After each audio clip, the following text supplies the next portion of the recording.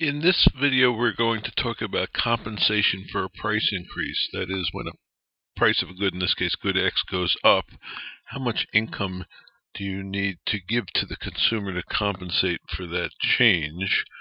Um, the, in this setup, we have the same type of indifference curves we had before these ones that show substitutability, I now have a new thing, this right-angled indifference curve that's for fixed proportions. A consumer who has fixed proportion indifference curves um, really is insensitive to the relative price, will consume at this point irrespective of what the relative price is. And now let me show you the controls that we have for this exercise. So let's scroll down here a little bit.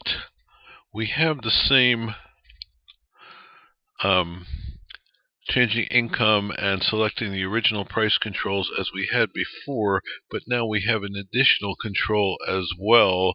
This is a control to raise the price of good X beyond the original price so you can see what happens there. So let's put the picture back and that's what I'm going to do.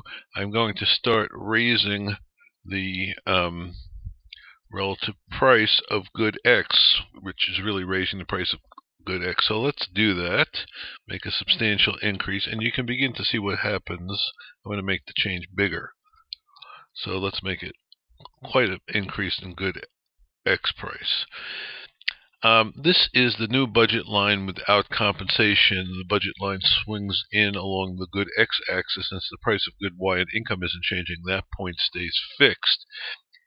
If the consumer had these right angled fixed proportion indifference curves to compensate, you would compensate back to the original bundle. But if you have these smooth indifference curves like this one, which is probably more realistic, at least over a period of time, um, at the new prices, the consumer will substitute away good X for good Y. The amount of compensation that you have to get to this indifference curve is less than if you have to compensate to get to this bundle.